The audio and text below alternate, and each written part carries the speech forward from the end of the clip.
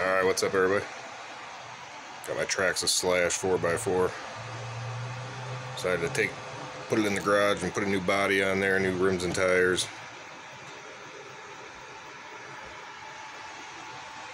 Thing turned out sick. That's the Proline F100 body. I used the felony wheels and tires.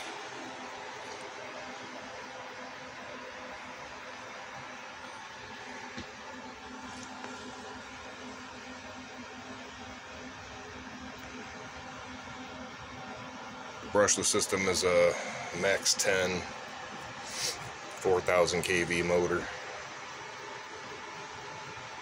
Nothing too super crazy fast. Runs on a 3 cell. For the wheels and tires, those are from the Felony, Arrma Felony. I went ahead and put the 17 millimeter hex adapters. And for the rears, those are 53 by 107s. And for the front, they're 52 by 100 whites. They got the white, gold, and some of their color.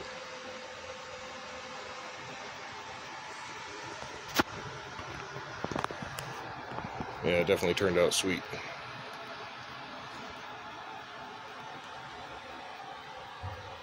Went ahead and smoked the windows.